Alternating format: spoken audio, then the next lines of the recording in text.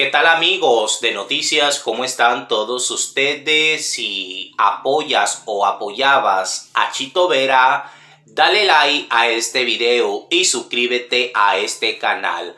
A mi noticia lo sabía, confiaba que Chito, Chito Vera iba a ganar esta pelea y así, amigos, noticia, así sucedió.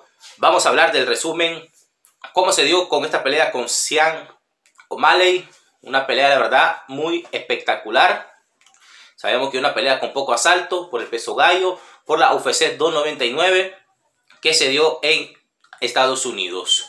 Amigos, la cantidad de personas que estuvieron en las boletas, que sabe que esta fue la cuarta pelea más llena, más comprada de boletos, de tickets. Que sabe que esta fue una de las peleas número 4 de las mejores eh, también sabe que Conor McGregor también llenó, llenó ese estadio.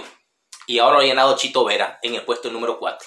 Ha habido una pelea muy buena. Sabemos que Chito Vera tiene una mandíbula de hierro. Eh, sabemos que tiene unas patadas espectacular. Que siempre la usó. Tiene una técnica, la verdad, muy rápida. Unos golpes muy fuertes. Y la verdad que tiene buena defensa, amigos. Se, un O'Malley, la verdad que es un buen boxeador, amigos. Pero le faltó más ganas para derrotar al gran Chito Vera. Por eso la gente se emociona ver esta pelea porque sabemos que Chito Vera da lo mejor, da lo mejor en el, en el ring de la pelea. Sabemos que siempre él buscando cómo atacar a su oponente. ¿Qué opinan ustedes? Déjenme saber acá en los comentarios cómo vieron esta pelea. ¿Dónde está la barra de Ecuador? Igualmente quiero saber de dónde nos están viendo, de qué ciudad.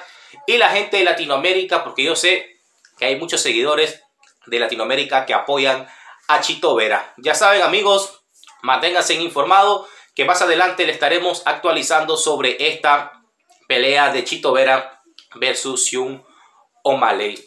Yo soy Entérate con Víctor, nosotros nos vemos hasta en el próximo video.